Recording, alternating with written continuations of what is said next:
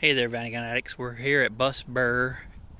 Uh, we actually got here way earlier. We were here at probably around noontime, and there wasn't very many people here. So now there's quite a few. Here I'll walk through. I might not say a lot because people are doing stuff. But you can see they got a nice selection of vans. They got a some bread loaf buses here, like this green one, Westy. Nice shape. They got this diesel that we actually did a video of a little bit ago. Got a uh, this other Wolfsburg edition here. Got uh, a Beetle and another bread loaf Westy over here. Got Dan over here getting his sign put up.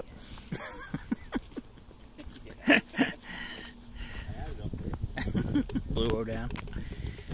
Got this uh, early 70s Westy where you can see the pop top actually goes in the reverse. That's how you can kind of tell on them.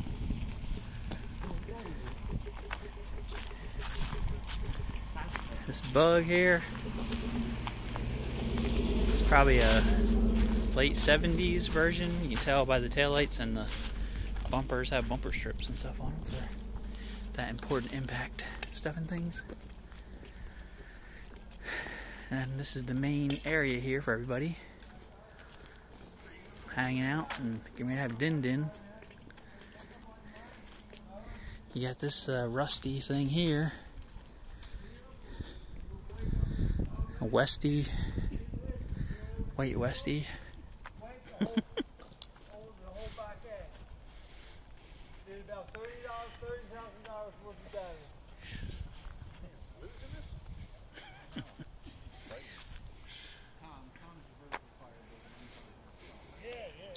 Walk down a little bit more because I saw a split window bus down here so we'll walk down and look at the rest of the stuff.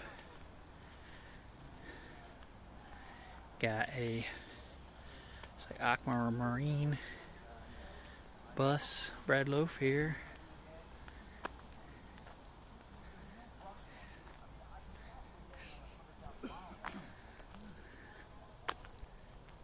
How you guys doing? Hey, how are you? Good.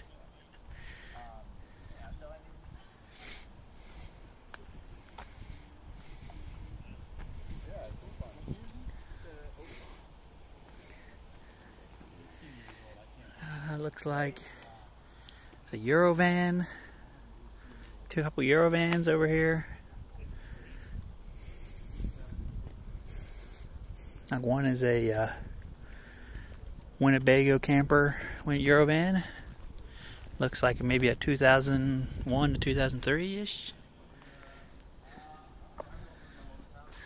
Got this orange bus here. How you guys doing?